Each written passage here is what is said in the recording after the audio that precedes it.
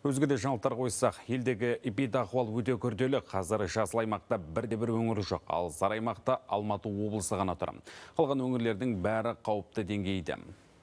Індетке шалдыққандар саны әлі де 6000-нан азайыр емес, кеше тағы 6631 адамның вирус жұқтырғаны анықталды. Ал вирустық белгілер бар пневмонияға 212 адам шалдығып, 10 адам көз жұмған.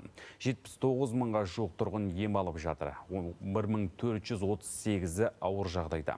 Инфекцияға қарсы вакцинаның бірінші компонентін алғандар 5 миллион 127 мыңнан асты.